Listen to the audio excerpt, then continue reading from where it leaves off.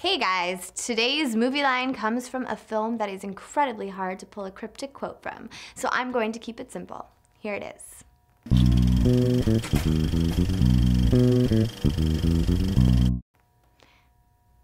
Good shit, huh? It's good for two things degreasing engines and killing brain cells.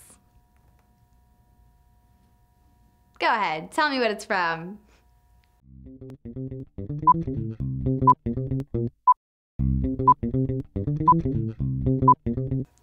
The clue.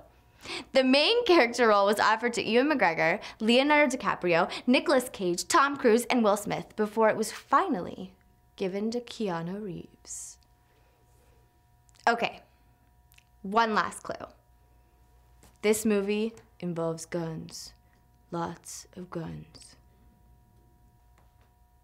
No, you do not pass go, and you do not collect any trivia points, because we don't have any.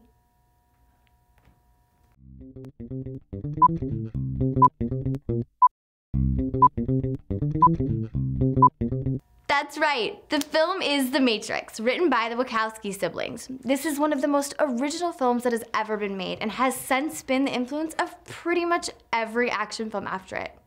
How'd you like to have that in your back pocket as a filmmaker? Yeah, I kind of invented The Matrix, so yeah, suck it. For more movie codes, click in these boxes. And subscribe!